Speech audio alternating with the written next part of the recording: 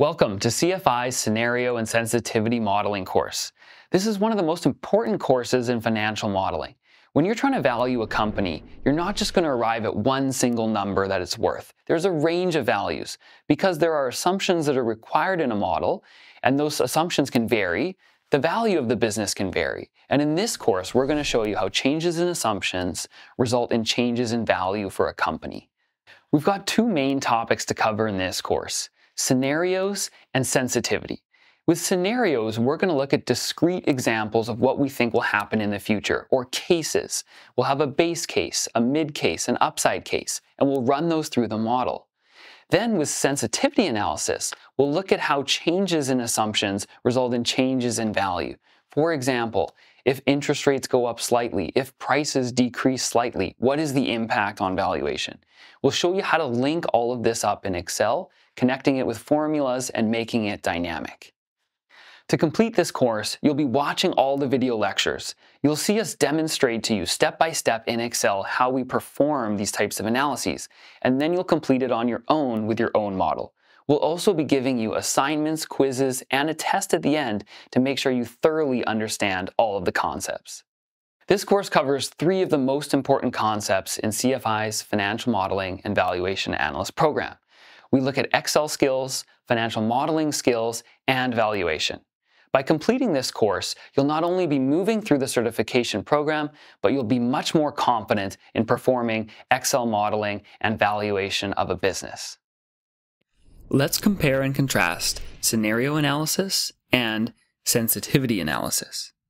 In scenario analysis, we change multiple inputs at once. In fact, we have an entire case built that changes a whole series of assumptions all in one scenario. In sensitivity analysis, however, we are changing one assumption at a time and seeing how sensitive the output is to a single change of an input. With scenario analysis, we create a story or a detailed scenario about the future. With sensitivity analysis, there is no story about why inputs go up or down. We simply want to understand what happens if they do.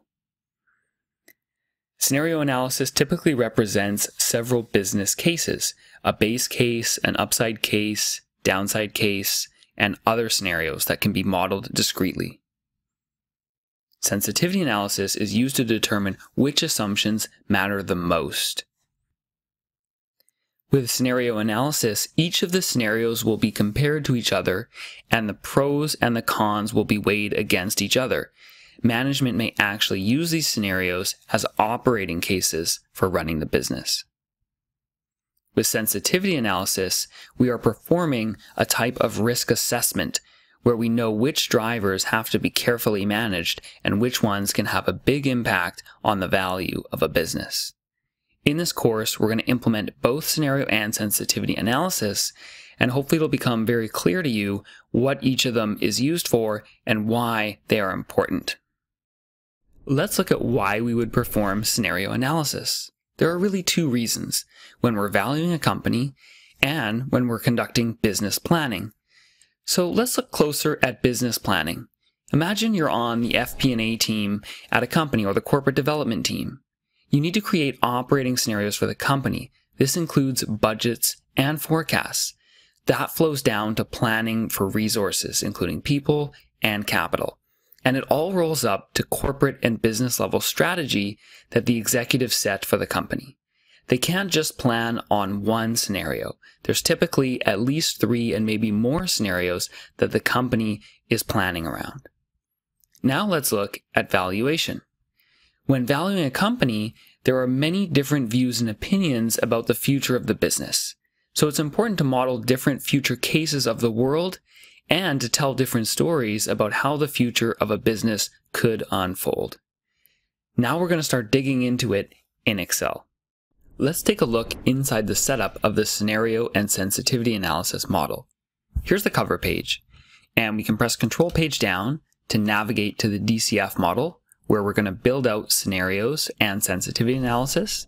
And if we go over one more tab, we can see here some additional assumptions which will form the three scenarios we're going to model. Let's go into the main model, the DCF and sensitivity model. let's open up all the sections. And you can see that currently this model only has one set of assumptions. There's only one scenario. This is classic in a standard model, but we're going to take it to the next level by adding multiple scenarios and giving the user the option to choose between which scenario is running through the model. So these assumptions here feed the income statement, balance sheet, cash flow, supporting schedules, etc. And all those sections feed into the DCF model, which give us the intrinsic value per share for this business and the IRR of buying shares in this company. Then what we're going to do is try to understand how sensitive this equity value per share really is. We're going to try to understand what would happen to the share price based on different revenue growth rates and different exit multiples. We'll also look at changes in revenue, cost of goods sold, discount rate, and exit multiple. That will all feed into a tornado chart down here and give us a visual representation of how sensitive the share price is to changes in underlying assumptions. So we've got a lot of exciting stuff to cover together in this course, and we're going to go through it with you step by step as we start building out scenarios and sensitivities. Let's talk about how to properly structure this model to handle scenarios. Typically, you would add scenarios at the end after your model is already built. And your intuition may be to actually rename this as one of the cases, perhaps your base case, and then insert additional cases above or below it. But what we actually want to do is turn this into the live case, since it's already linked up to the formulas here. You can see if we go into these formulas and press F2, they are directly linked to this set of assumptions here. So if we move this to another area, all of the references are going to follow these cells. So what we should do instead is turn this into the live case and then insert three different cases above it. So what we can do is copy this section here, just copy it, and then insert the copied cells above. Let's do that again. Let's copy and then insert them above. And we're going to do it yet one more time. So now what we've got is one, two, three discrete cases and a live case. And the way we've set it up now, when we change this section to be formulas and add our choose function, it's not going to interfere with any of the linking that we've set up previously. So we can delete everything in here. These numbers don't impact the model. And uh, eventually we're going to delete these and replace them with formulas. We can go over to our additional assumptions section and let's select all of the data that's contained here. We can select starting with the titles and going all the way down, the three cases. We can go back over into the model and paste them. And then we have the scenario names like base case, downside case, upside case, and then we have our live case. And we're going to delete these hard-coded numbers here and replace them with formulas. And that's going to be the real work now of setting up these scenarios in our model. Now that we have the structure in place, which is an area to create choose formulas and then three discrete scenarios to choose from, we're also going to create a switch here where we can select the live case. So let's type here live case. And on this cell to the right of it, we're going to have a little drop-down menu where we can choose between the cases. Let's flip back to the additional assumptions and we can create a little bit of extra information here where we will have cases. Let's bold it. Let's add a border under it. And then we're going to type case one, two, and three as our three choices. So we're not going to give them names, we'll just give them numbers since it's a very straightforward example where we have base case, downside case, and upside case. And in this cell here, on the on the ribbon, we're going to go to the data ribbon. So that's Alt A V for data validation, and then V again for the data validation. And what we want now is in this cell, instead of allowing any normal value, we want to allow a list to be displayed. And the options that are contained in the list we're going to display are located right here, option one, two, or three. So we press OK, and now we have this drop down where we can select option one, option two, or option three. And since this does contain a drop down feature, let's format it to be a little bit different. Let's go in and change it to have a dotted line border. And we'll give it some very light shading so that it's sort of obvious now, hopefully, that this is where we choose our scenario. So now we have that switch ready to go, and we can start linking up the scenarios. Let's link up the live scenario using the choose function. So if we type choose, the way this formula works is that we tell it what choice number to make, that's the index number here, and the choice number is contained in this drop-down list. So we refer to that cell and anchor it with F4.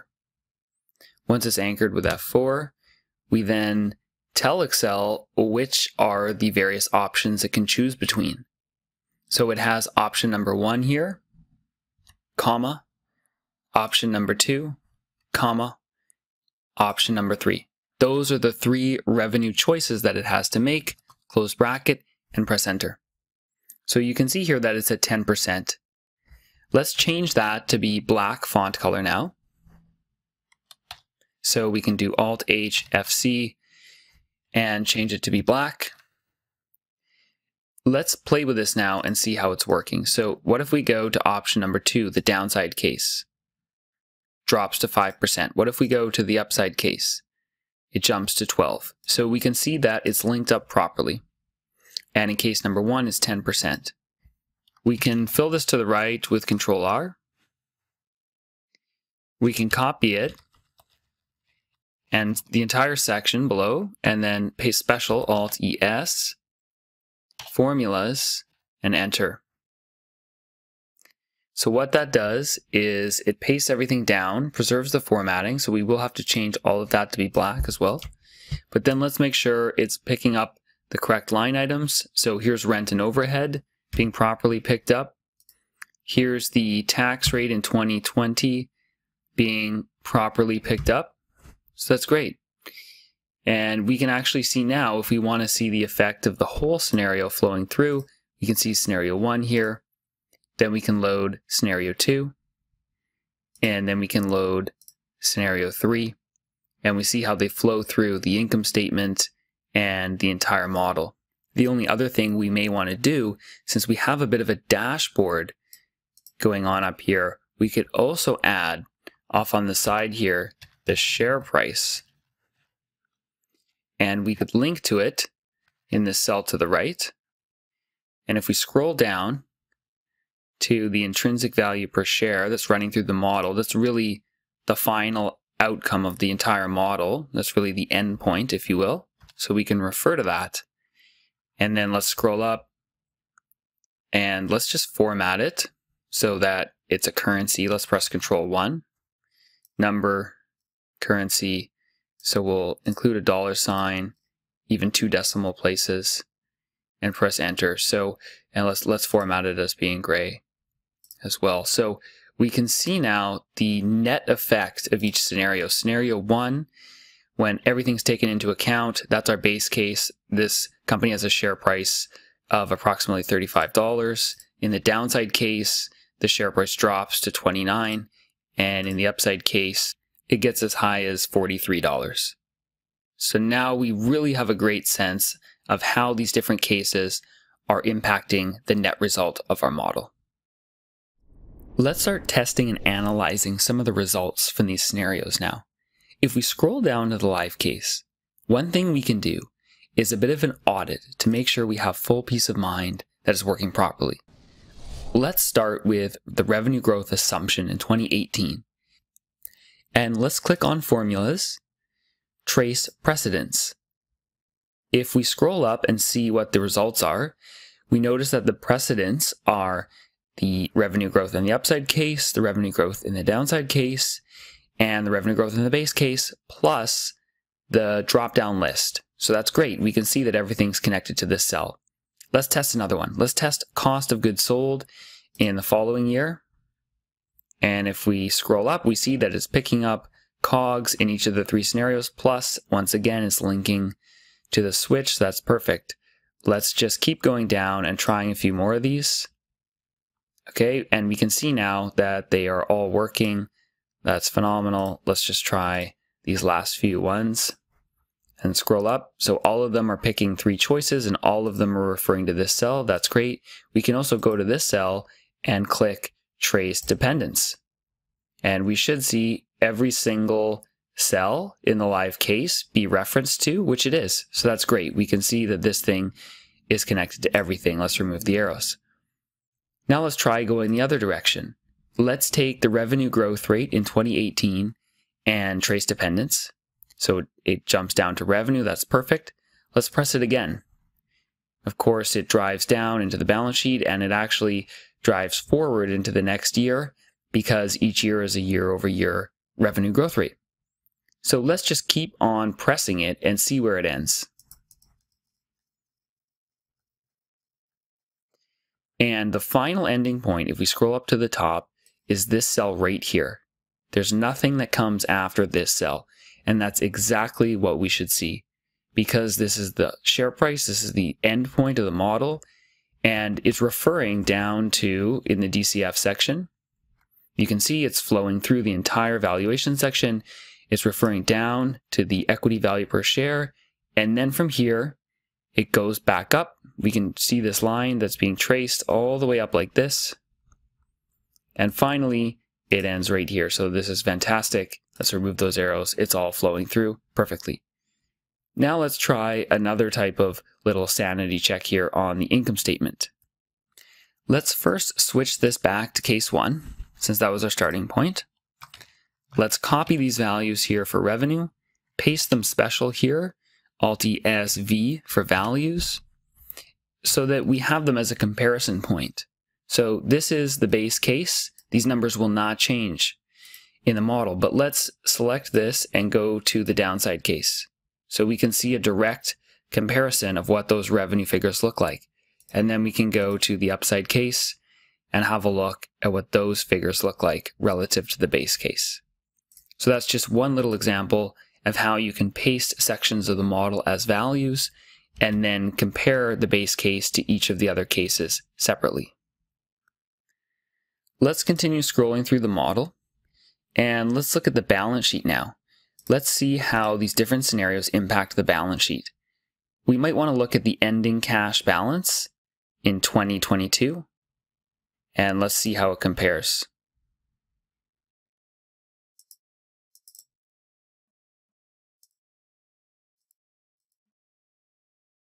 So we can see how that number moves around in the different cases. We might notice that case one and case two actually have a very similar ending cash balance and only case three really breaks away with a materially different ending cash balance.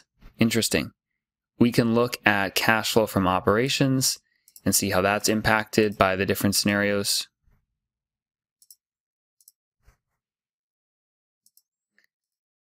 And then scrolling down, we may want to look now at the share price. And if we are in our base case here, we can copy this value, paste special as values. Let's add two decimal places just so we know it's exactly the same. And then we can do a side calc where we take the current case divided by the base case hard-coded value minus 1, and then Alt-HP to make that a percentage. So let's just watch the different scenarios flow through and see the percentage change. So in the downside case, it's a 17% downside. And in the upside case, it's a 25% upside. Now let's switch this back to the base case and we can delete that little side analysis unless that's something you would want to leave in. Hopefully by now you have a thorough understanding of how scenarios flow through a model. Continue learning. Join CFI today.